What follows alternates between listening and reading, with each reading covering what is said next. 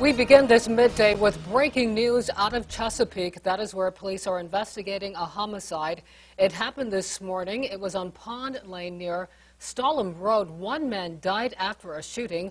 Our Kara Dixon joins us now live from the scene. Kara, tell us what you know about what happened there.